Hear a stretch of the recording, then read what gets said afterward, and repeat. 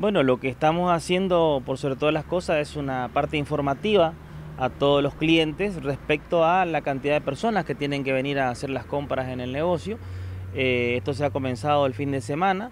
Eh, porque lamentablemente la gente no toma conciencia de que tiene que ir una o dos personas a hacer las compras y no venir toda la familia o en grupos.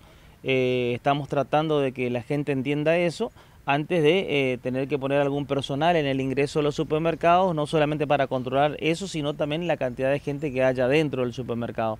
Así que estamos trabajando puntualmente en eso y esperamos que la gente entienda, ¿no es cierto? Acá se trata un poquitito del que decimos siempre, este, querete, quereme, ¿no es cierto? Y cuídate y cuidame, así que vamos a tratar de hacerlo entre todos y, que la gente entienda. Eh, bueno, ¿y cómo lo han visto ustedes ese movimiento? ¿La gente lo va entendiendo, esto de por ahí eh, llegar solo, no familia, o sigue siendo de la misma forma?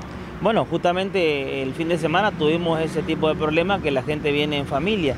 Eh, ahora con la instalación de los carteles y la concientización esperemos y tomen conciencia. Yo creo que la, la prensa tiene mucho que ver eh, en tratar de que, la gente entienda este tipo de situación, como también la situación de que no se abalance a, comprar productos que la mayoría de los supermercados no hemos visto en la necesidad de implementar eh, un producto por, por, compra, ¿no es cierto? Ya estamos hablando del alcohol, estamos hablando del repelente, que son productos eh, puntuales que eh, el fin de semana se agotaron en la mayoría de los supermercados. ¿Existen problemas con eso? Digo, ¿hay desabastecimiento? ¿Cómo está ahora eso? Claro, el problema principalmente en el repelente y el alcohol es que la mayoría de los, negocios no están este, con stock suficiente como para una situación de esta. Entonces, en el caso de la lavandina no, porque es un producto de alta rotación y todos tenemos.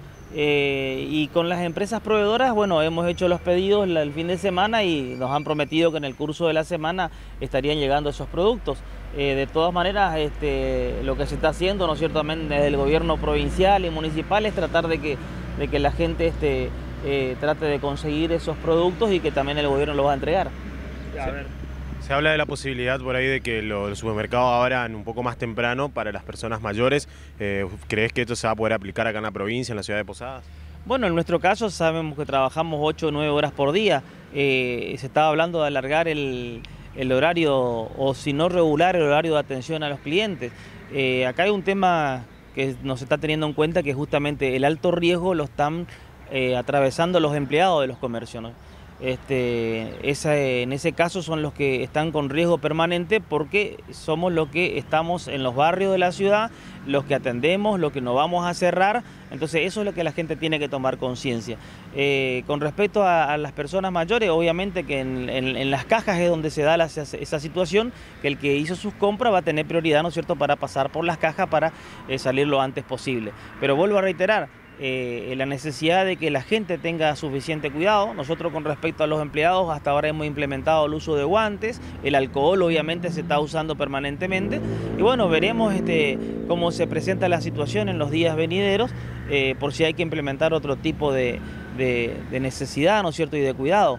Esperemos y esto no sea así y todos tomemos conciencia y bueno, eh, pasar esta situación. No sé si va a alcanzar 15 días, capaz necesitemos más, pero la, la gente tiene que tomar conciencia en ese caso están pensando, digo, la posibilidad más allá de restringir un poco el ingreso de, la gente, como decíamos, si es necesario, licenciar personal también.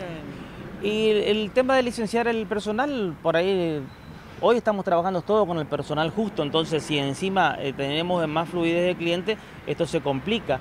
Eh, y eh, aunque un personal trabaje dos o tres días y después vuelva a trabajar, es lo mismo. Entonces sí vamos a tratar de regular este, de que el tema del horario por ahí la gente venga a comprar en horarios que no eran habituales, porque sabemos que por ejemplo vos abrías a las 4 de la tarde, pero hasta las 6 no viene gente.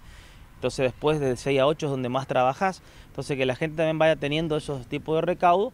Pero es toda información, o sea que vamos a manejarnos en el boca a boca, ¿no es cierto?, con el cliente y el cuidado sobre todas las cosas.